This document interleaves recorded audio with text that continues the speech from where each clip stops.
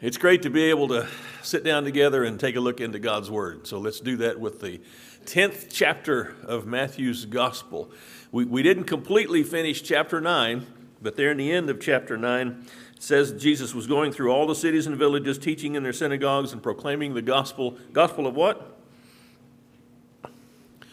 Gospel of the kingdom. Matthew is all about the kingdom of God. And who's this proclaiming in all the synagogues but the king himself? And while he's doing that, it says he sees people and he feels compassion on them.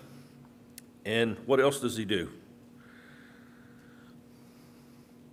He heals them. The people are depressed and they are dispirited. The spirit has, has gone out of them. And so he feels compassion on them and he heals them of every kind of disease and sickness. And he says to his disciples something about the harvest. What does he say? The, the harvest is plentiful, but the workers are few. And so in chapter 10, we're going to see him send out the 12. He's sending them out. We call this the, the limited commission. Now, if you're familiar with Luke's gospel, and I hope you are, Luke also records that there was another 70 that Jesus sent out. Matthew doesn't write about those. He only writes about the, the 12 being sent out. And that's how the Holy Spirit decided he wanted Matthew to put the gospel down. So, so that's what we're looking at this morning as we begin chapter 10. Uh, yes, Larry. Do I remember how to find the 12 apostles? The doctor 10, 2, and 4? Oh, Matthew 10, 2 through 4. Oh, I never heard that before. That's pretty neat. Yeah, Matthew 10. If you want to find the names of all the apostles, here they are in Matthew 10. Where else are they found? Where's the adjusted list? Anybody know? Who recorded the selection process of getting somebody to take Judas's place? Luke did. Where is it? Acts, the very first chapter.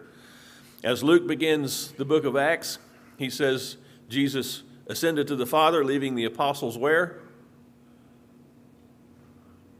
Where did he tell the apostles to go and stay and wait? Jerusalem, Jerusalem. Remember, Isaiah prophesied that the mountain of the house of the Lord would be established in the tops of the mountains, and all the world would flow to it as the gospel would flow out of it, and that was Jerusalem. And so that's, that's about the kingdom. This is about the kingdom. The apostles are waiting in Jerusalem for the kingdom to be established, and that's the question they asked in Luke chapter 1 Will you now establish the kingdom? And did he give them a straight answer? Don't you dare say that wasn't a straight answer. It was a straight answer. He just didn't say what they wanted him to say. He said, It's not for you to know the times of the seasons that God's got in His plans. There's a sermon or two in that right there. It's not for me to know the times of the seasons that God has planned for me. On the grand scheme, He's got a plan. On the small scheme for you and me, He's got a plan. And He's working that plan all the time. And that's what He's doing in Matthew chapter 10. He's working His plan to establish His kingdom as He sends out the 12. So I need three readers. I need somebody for 1 through 8 who'd like to read 1 through 8. Matthew's Gospel, chapter 10, 1 through 8. Okay, Jeannie, or Janie, uh, 9 through 15. I see a hand in the back. All right, Rich, and 16 to 23. All right, Doc, we're good to go. 1 through 8, 9 through 15, and 16 to 23, Matthew chapter 10. Let's go. And he called to him his twelve disciples and gave them authority over unclean spirits to cast them out and to heal every disease and every affliction. The names of the twelve apostles are these. First, Simon, who is called Peter, and Andrew his brother, James the son of Zebedee, and John his brother, Philip and Bartholomew, Thomas and Matthew the tax collector, James the son of Alphaeus and Thaddeus, Simon the zealot, and Judas Iscariot who betrayed him. These twelve, these twelve Jesus sent out, instructing them, Go nowhere among the Gentiles and enter no town of the Samaritans, but go rather to the lost sheep of the house of Israel, and proclaim as you go, saying, The kingdom of heaven is at hand. heal the sick, raise the dead, cleanse lepers, cast out demons. You receive without paying, give without paying. Gold or silver or copper for your money belts, or a bag for your journey, or even two tunics or sandals or a staff, for the worker is worthy of his support. And into whatever city or village you enter, inquire who is worthy in it, worthy in it, and abide there until you go away. And as you enter the house, give it your greeting. And if the house is worthy, let your greeting of peace come upon it. But if it is not worthy, let your greeting of peace return to you. And whoever does not receive you, nor heed your words, or you go out of that house or that city, shake off the dust of your feet. I you, it will be more tolerable for the land of Sodom and Gomorrah in the day of judgment than for that city. Behold, I send you out as sheep in the midst of wolves. Therefore be wise as serpents and harmless as doves. But, del- but beware of men, for they will deliver you up to councils and scourge you in their synagogues. You will be brought before governors and kings for my sake, as a testimony to them and to the Gentiles. But when they deliver you up, do not worry about how or what you should speak, for it will be given to you in that hour what you should speak. For it is not you who speak, but the Spirit of your Father who speaks in you. Now, brother, now brother will deliver up brother to death, and a father his child, and children will rise up against parents and cause them to be put to death. And you will be hated for all of my name's sake, but he who endures to the end will be saved. When they persecute you in this city, flee to another. For assuredly I say to you, you will not have gone through the cities of Israel before the Son of Man comes. All right, thank you very much. By the way, those of you who are at home, you, you probably weren't able to hear those voices, but I'm hoping that you've got your text out and you read along with us as we read the first 23 verses of Matthew chapter 10. Jesus is sending out the 12. Where does he send them? Does he send them all over the world? Just to Judah, the lost sheep of what house? The house of Israel. Does he send them to the Gentiles? Not yet. Not yet. Remember what Paul wrote when he wrote the letter to the church in Rome, the first chapter, verse 16? The, the gospel is something he's not ashamed of because it is the power of God for salvation to whom? To the Jew first, and also to the Greek. And when he says Greek, he's not just talking about Greeks, he's talking about the rest of the Gentile world, which most of us are. So he's sending these guys out to the lost sheep of the house of Israel, and what are they supposed to preach? The kingdom of heaven is at hand. What would that have made them think about, do you believe? Remember Daniel's prophecies and Isaiah's and Micah's of the coming kingdom, the mountain of the house of the Lord being established in the top of the mountains. Daniel wrote about two dreams. One was Nebuchadnezzar's dream, and he translated it to mean that God would establish his kingdom in the days of Rome. Essentially, when you, when you look at the, uh, the interpretation of the dream that Daniel provides. And then in chapter 7, Daniel has his own dream, completely different dream, but with the same message. And in that dream, who does Daniel see coming before the Ancient of Days? One like unto the Son of Man. And how does he come before the Ancient of Days? In the clouds. Who writes about one like the Son of Man coming in the clouds? Well, we're back to Luke chapter 1. When Luke writes about Jesus' ascension, Jesus ascended in the clouds, and he goes back to the Father, and I believe that's the fulfillment of Daniel chapter 7. So they should have been looking for this kingdom, and in fact, they were. They just didn't have it pictured the way God had it pictured. And by the way, whoever does, whoever has God ever brought you out of a calamity in a way that you never dreamed would happen?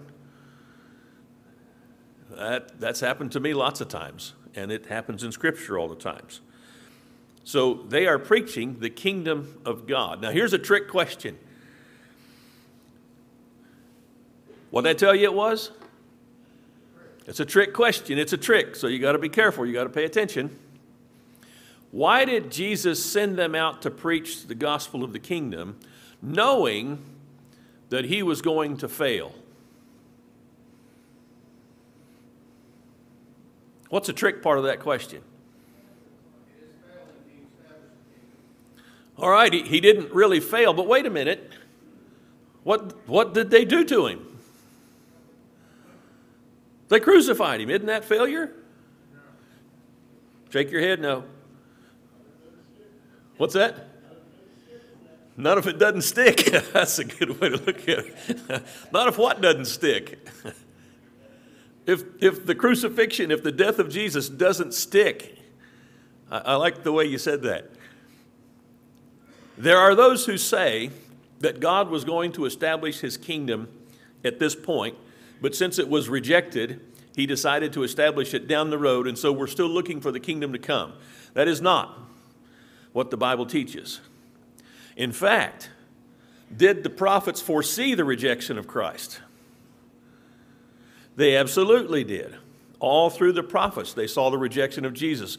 Probably the, the quintessential passage on that is Isaiah chapter, the last part of 52 and, and chapter 53, where Isaiah writes very specifically about how Jesus would be rejected, how he would grow up before us like a root out of dry ground, and there's nothing about him that anybody would look at and say, yeah, this is the guy right here. And how he would bear our sins, and he would be buried uh, with the, the wicked. Uh, all of that text shows us that it was foreseen and planned that Jesus would be rejected. But he still established the kingdom. God's plans were not thwarted by the evil of man or by the disagreement of man. In fact, all of that played into the establishment of the kingdom. Could the kingdom have been established had Jesus not been crucified? No way it could have happened. So we're back to the question. If Jesus knew he was going to be rejected and crucified, why send these guys out to preach?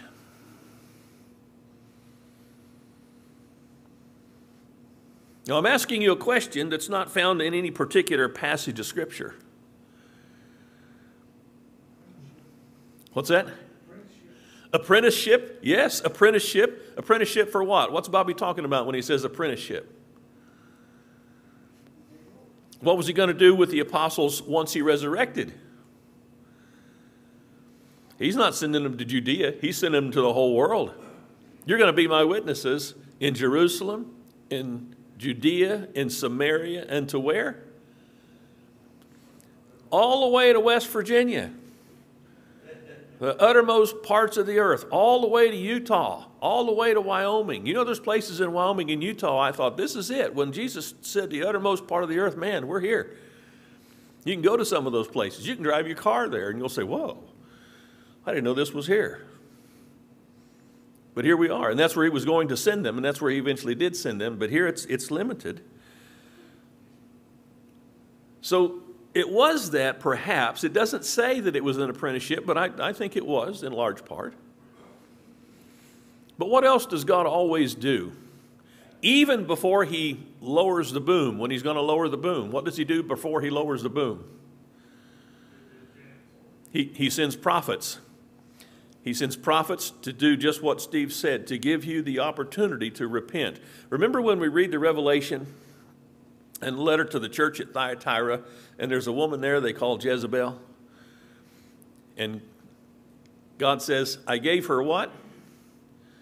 I gave her space to repent. Space to repent. Space doesn't mean an area, it means whatever she needs, time wise, to see how wrong she is and to repent. And God has done that for us. And He showed us that when we read the prophets. They came to the nation of Israel, they came to the nation of Judah, they preached and were by and large rejected. They also went, where did Jonah go, by the way? Jonah went to Nineveh. Did Nineveh repent? yeah. Here's where I use that phrase go figure. Uh, that used to get on my nerves when people would say that because it was just everybody would say, go figure, go figure, go figure. No, whatever what they said, it was go figure this. But here it fits. Go figure that out. The prophets spoke to Judah and Israel, the people of God, and they rejected the prophets and the word of God. Jonah gets burped up by a fish, walks into Nineveh, and preaches out of his love for them. Now, why are you laughing? Because he hated them. He, if, if I may, if you will excuse the vernacular, he hated their guts. He did. And I don't think that's too graphic a way to put it. He wanted them to be destroyed. As a matter of fact, after he preached, he went up on the hill and he sat there. What was he sitting there waiting to see? What, what God would do, and I think in the, in the context, he was waiting to see how God would wipe them out. But they repented. From the king on down, they repented in sackcloth and ashes. When Jesus sends out the 12, They go to preach this gospel of the kingdom. So, are the people informed about the kingdom? I find it very interesting. One person in particular who was informed about the kingdom, do you remember when Jesus was crucified? What did the thief, what did one of those thieves ask him? Remember me when? When you come in your kingdom, Remember me. And Jesus said, Today you're going to be with me in paradise. That thief knew about the kingdom. Who had told him about the kingdom? I don't know. Did, had he sat at the feet of Jesus and listened to his teaching, or had he sat at the feet of the apostles and listened to their teaching? Did somebody else who heard either Jesus or the apostles pass on to him, hey, we're hearing about the kingdom of God being established? And so here's a guy dying on a cross next to Jesus, and he says to Jesus, Remember me when you come in your kingdom. Think about the faith that must have need. Uh, uh, what's the word? That, that must have had to take from his. I can't even say it right. How much faith did he have to have? He's asking the guy next to him who is being crucified with him, remember me when you come in your kingdom. That guy, that thief, could see through all of the abuse that was heaped on Jesus, and somehow he saw and understood this guy really is the Son of God, even while he was hanging on the cross. Wasn't going to be earthly. The thief, you mean? Yes. He, he must have had that idea because how could this guy hanging on a cross next to him how could he have a vision of him leading an army to wipe out the Romans and restore some kind of political national power to, to the people as, a, as an earthly nation? He saw beyond that, I think. Well, he said, he said, we are being persecuted and hung for what we did. This guy, he didn't do anything. Yes, he knew that about Jesus. He was informed.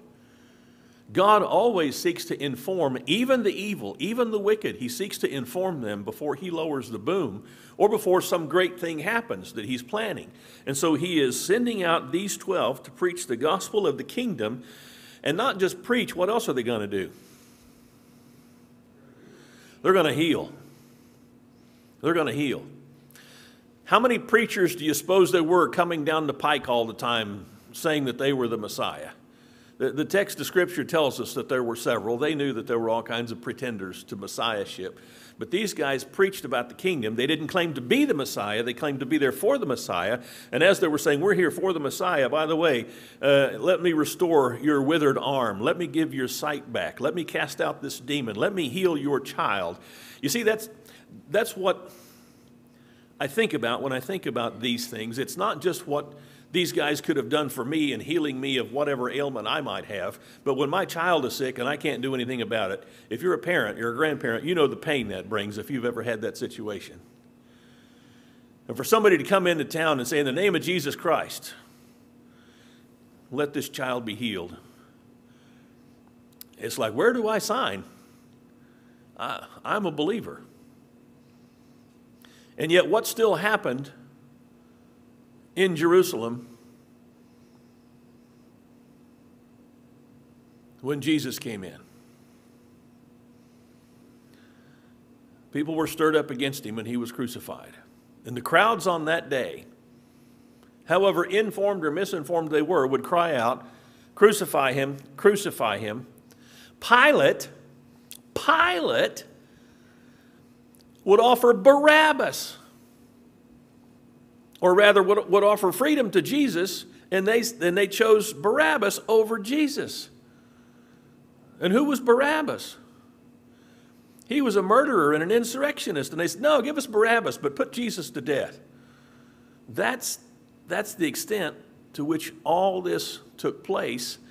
And still, Jesus says, You guys, you go out to the people who are going to crucify me later, and you heal all of their sicknesses and their diseases, and you tell them about the establishment of the kingdom.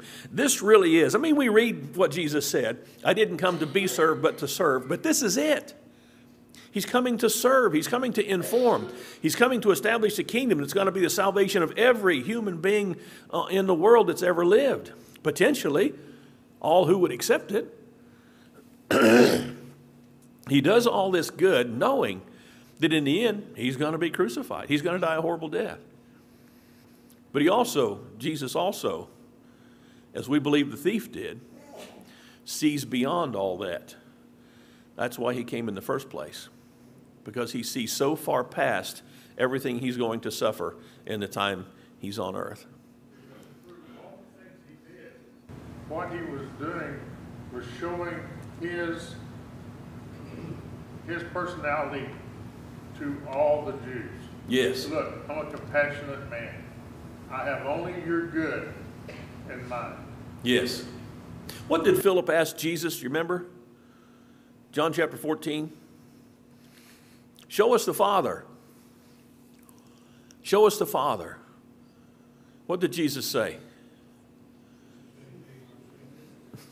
If you've seen me, Philip, you've seen the Father. Now, he wasn't talking about the, the, the express image of God as, as Philip was probably thinking, but Jesus was going deeper than that and saying, You don't need to see that, Philip. You just look at me. You look at me and you see, you see what Steve's talking about, the character of God the, the, the love, the compassion, the power, the traits, the honesty, the dignity, the discipline, everything about Jesus was a picture of God. He's the ex- express image of the Father. And so as he sends these guys out, he's sending them out to preach this kingdom so everyone can be brought to the Father. And he says, it's interesting what he tells them. Don't acquire gold or silver or copper for your money belts. In other words, you're not going to need money. Don't get a bag for your journey or even two coats or sandals or staff. Why? Why don't take all these things with you? The worker is worthy of his support. So, what did Jesus expect was going to be happening with these guys as they went through Judea preaching? They would work and they would be supported. And who was going to support them? But the people of Judea. There was a willingness on the part of many to accept this news about the kingdom and about Jesus and to support the men who were doing that. As a matter of fact, when Jesus came into Jerusalem, the same week he was crucified, by the way, when Jesus came into Jerusalem, what was the response of the crowds? Man, they were taking their clothes off and putting them in the street so he uh, could ride over them on his donkey as he came into town. They were breaking off palm branches and putting them in the street. They were crying out, Hosanna in the highest. There were people there who believed. I don't know if it's the same people that crucified him later, but there were a lot of people who believed. And I, I'll mention this again because I think it's somewhat of a parallel. Jesus said, you know, the harvest is plentiful. Do you remember that mess with Chick fil A? And everybody thought, oh no, this is, this is not good. What happened to Chick fil A? People were lined up all over the country to get chicken sandwiches. But they weren't lined up to get chicken sandwiches. What were they there for? They were there to show their support for Chick fil A. Is there any fast food joint in America that's more popular and, and more well known and more respected than Chick fil A? By the way, is there one more efficient than Chick fil A? Is there any other food joint that shows you a picture of the food and then gives you food that looks just like the picture? I don't know of any place that does that. uh, I, I digress. But what I'm saying is, there are more people out there who support the good than I think we realize. Uh, That's a very great word of encouragement to me, and I hope it is for you as well. Now, that doesn't mean that everything's just fine. There's a lot of evil as well. There was plenty of evil in Jesus' day, and that's how he was crucified. But he, he addresses that as well here. He says in verse 11, Whatever city or village you enter, inquire who is worthy in it, and stay at his house until you leave that city. As you enter the house, give it your greeting. If the house is worthy, give it your blessing. Does that sound rather judgmental? Does God know right now who's worthy and who's not? Of course He does. He knows that. And He, he wants these guys to be looking for those who are worthy to provide support for them and to be on guard for those who are not. He says in verse 13, If the house is worthy, give it your blessing of peace, but if it is not worthy, uh oh, take back your blessing of peace. Well, wait a minute. What about grace and mercy and all that stuff? Paul? It's not your own judgment, but if, if the criteria that God has given for what's worthy, what's upright, what's righteous, if you judge it against His word, you know, it's not your own judgment. I Right. mean, Do you like these people or not? That's not. Right, exactly. Do they have a nice place, you know, two stories, whatever, running water? Everybody's judge not lest you be judged. You cannot say anything against what anybody is doing now, otherwise it's now hateful. Absolutely. The question is, are you saying it from what you think, or are you judging it against what the word says? Because that's your justification for calling something good or bad. Yes. And it's interesting how this thing judge comes up because they say you're not supposed to judge, but but judgment goes both ways. They're usually talking about judging in a negative sense, but can you judge in a positive sense? Do, do you have any more right to judge, however, in a positive way than in a negative way? Because that's almost what always happens. When somebody tells me, oh, Marty, you shouldn't judge, it's because they're judging something else to be good and they don't want me to say anything bad about it. And it's like, well, you're judging when you say that this is good. By the way, God did not say that was good. Usually the way it works. But Jesus is giving them instructions about making judgments about people's character. I find this interesting. He's saying if, if the character's not good, if they're not worthy, don't you stay there. As a matter of fact, verse 14 whoever does not receive you nor heed your words, as you go out of that house or city, what do you do? Boy, here's a big theological question. Did he mean that literally? What was the point of saying that? You've been rejected. That's what it means. You've rejected God, He has rejected you. And it works that way all the time. Shake off the dust of your feet. Truly, I say to you, he says in verse 15, this is pretty ominous. It will be more tolerable for the land of Sodom and Gomorrah in the day of judgment than for that city. Whoa, that's, that's pretty heavy stuff right there.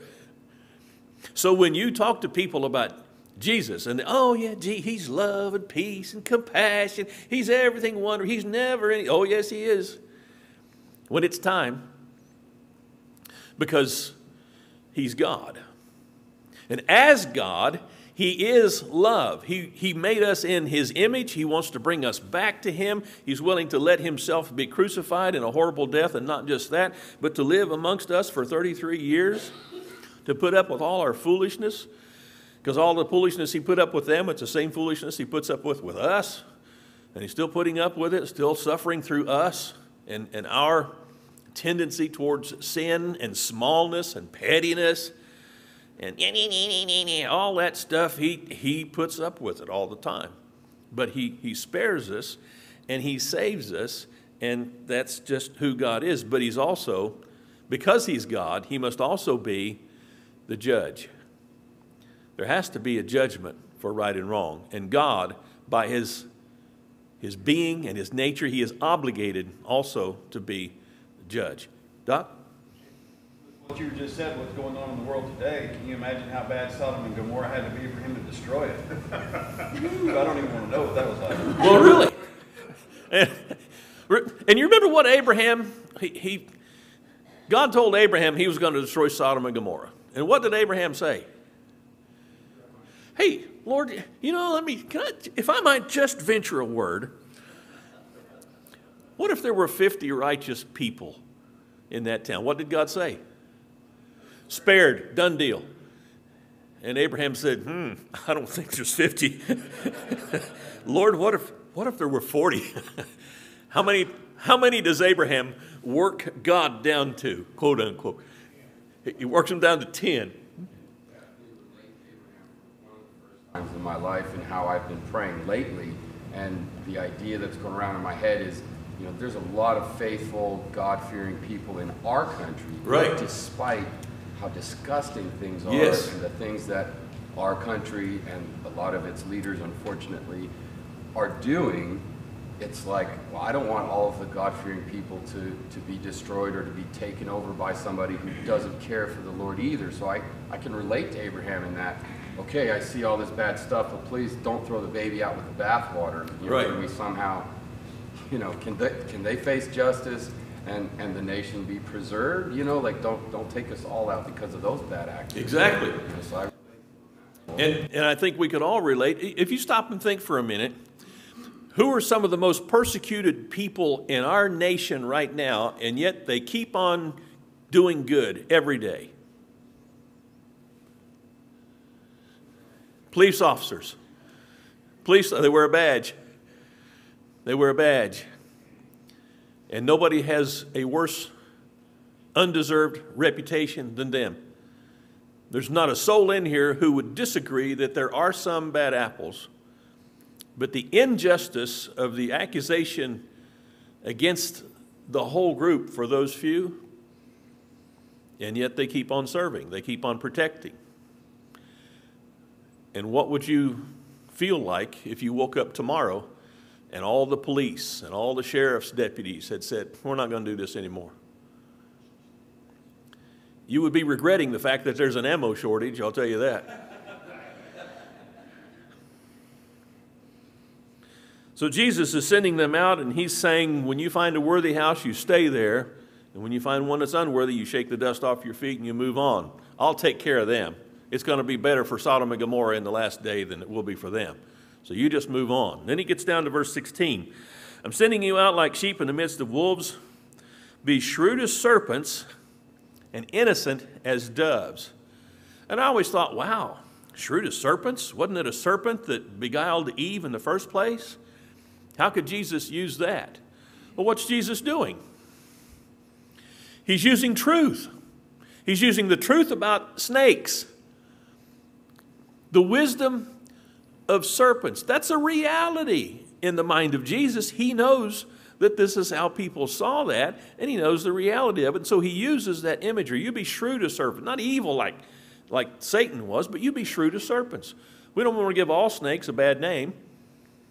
After all, there's, there are some snakes out there that eat copperheads.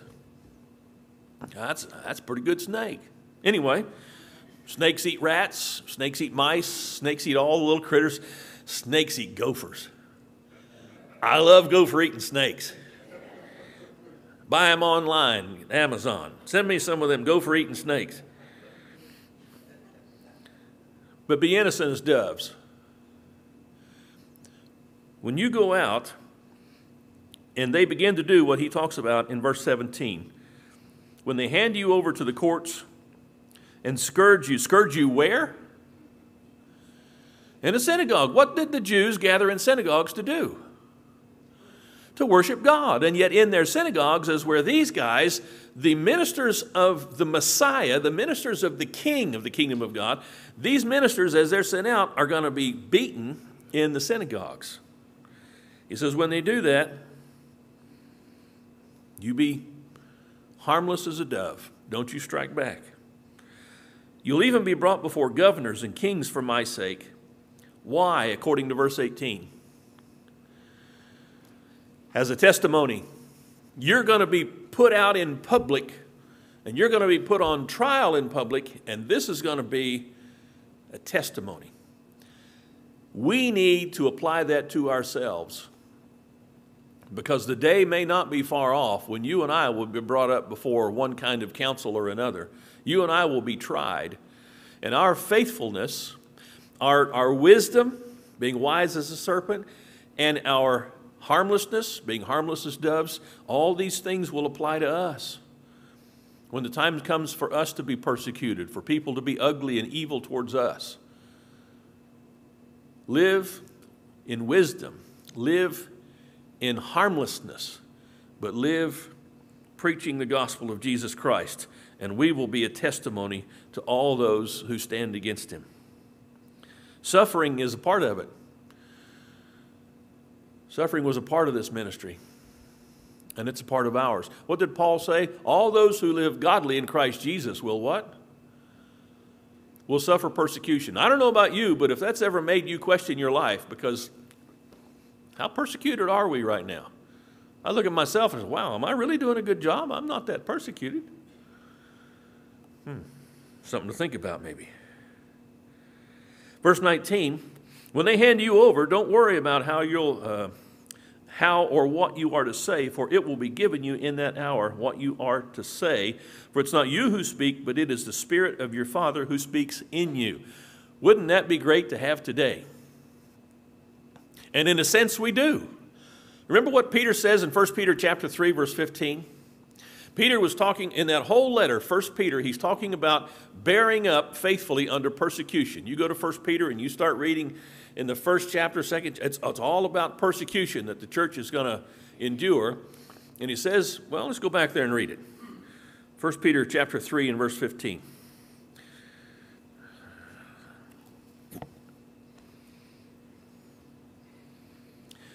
Well, start at verse 13. We'll work our way down to 15. Remember, Peter was one of the 12 sent out here in chapter 10 of Matthew.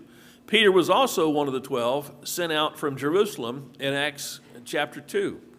So Peter writes this 1 Peter chapter 3 verse 13 Who is there to harm you if you prove zealous for what is good but even if you should suffer for the sake of righteousness you are blessed and do not fear their intimidation and do not be troubled that's a quote from scripture right there but sanctify Christ as Lord in your hearts always being ready to do what you always be ready to make a defense. What do you have to do to be ready to make a defense? You have to prepare. You have to think this through. What am I going to say when somebody questions me about my faith in Jesus? What am I going to say when somebody says, Oh, you Church of Christ people, you think you're the only ones going to heaven? What am I going to say when people call me on the carpet for something I believe that God has taught me to believe? What am I going to say? What am I going to do? Will the Holy Spirit be there? If the Holy Spirit is in you now, He will be there then. He's not going to run off. What will the Holy Spirit do for me at that point? Well, I'm, I'm not exactly sure. I know Jesus was telling these guys, you don't even worry. Don't worry about what you'll say or how you'll say it, because the Holy Spirit will give it to you then. Man, what a relief that must have been. But now the apostle that was sent out and told that tells us you be ready to make a defense. He doesn't say, you just stand by quietly and the Holy Spirit will give you what to say. He says, you be ready to make a defense. Paul? Of that, but one that comes to mind is when Jesus healed that man that was blind from birth. And obviously the lowest part of society at that time, not educated, didn't have any money, you know, any of that. And when he was in front of the teachers, he was able to present they, they didn't know what to do. They ended up going to his parents, and they, you know, passed the buck because they didn't want to mess with the, you know, with the, the, the, social elites of that time. But he knew what to say at that right. point. It's, that's John chapter 9. What Paul's bringing up is from John chapter 9, and it was when Jesus healed the blind man, gave him back his sight, and he was called on the carpet, Hey, how'd you get your sight back? You're in trouble, buddy. That's kind of the tenor if you read it. And he says, Well, this guy, he put mud in my eyes and he told me to go wash in the pool of Siloam and I got my sight back. Well, that's not possible. Uh, how does you got to tell? How did you get your sight back again? I told you already. you won't believe me. So they went to his parents, and his parents did what Jesus is talking about here. They, oh, well, well, yeah, he's our son, but we don't know how he got his sight back. It's like, what? That's your son. Jesus gave your son his sight. He's never had it, and he gave it back to him. And you're not even going to have the, the, the moral fiber to stand up and say, Yeah, Jesus did that for our son. I don't know what else he teaches or what he stands for, but I know I'm grateful because he gave our son back his sight. They didn't even do that. Why? They were afraid. It wasn't only a place of worship, it was political back then. Exactly. It was political and it was social. That was your social circle, it was your business circle. I'm not doing business with that guy anymore. He believes in Jesus. He thinks he's the Messiah. What kind of a nut is he? So you got to make a choice. Wow. Am I going to follow the one that I know to be God and risk losing all of this? Or am I going to hang on to all of this and just hope for the best with God? Jesus says, going to be more hope for Sodom and Gomorrah than those who reject me when I go out. Well, this is probably a, a good place to stop, if there is a good place to stop. I don't want to stop. I don't know about you. I'm having fun. I'm enjoying myself. I don't know if you can tell or not, but I'm enjoying myself. I hope you are too, and I hope this is uh, beneficial for you. But, but this just seems so apropos for us right now because so many godly things are being called into question in our culture and to some extent even by our government. And so I encourage you with the text of Matthew chapter 10 stand strong in your convictions and build your convictions so that you know what the truth is. Be ready to give an answer. Formulate an answer. Think of what questions might be put to you and be ready to give answers for those questions. Write them on a card, put them on your bathroom mirror, put them on your refrigerator. For me, it'd be better to put it inside my refrigerator. So every time I, oh, there it is again, yeah. Because you just, you just stop looking at stuff on the outside after a while. You, you just pass right on through because it's not important. All that's important is what's inside. And you open the door, pff, there it is. Oh, yeah, there's, I need to be ready to give an answer. Could you imagine if the time ever comes and the, the servants of the government are sent out to, to confiscate all your goods because you're a Christian and they, they open your refrigerator door? What's this? It's crazy. It's crazy.